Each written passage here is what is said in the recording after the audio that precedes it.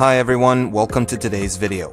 I'm Alexander and while you won't see my face today, I'm still recovering and not quite back to full health, you'll be seeing a cartoon version of me instead. But don't worry, I'm here to guide you through a fantastic feature in Amelia, the limit the number of additional people functionality.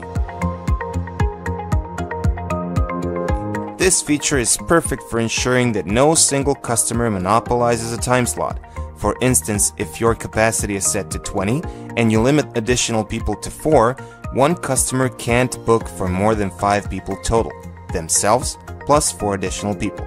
Let's dive in. This option becomes available when you set the maximum capacity for a service or event to more than one.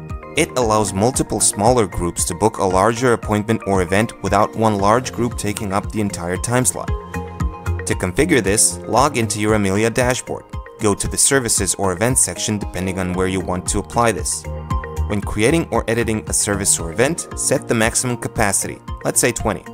Once it's above 1, the limit the number of additional people appears. Let's set this to 4. Now, a customer can book for themselves plus 4 additional people, making a total of 5.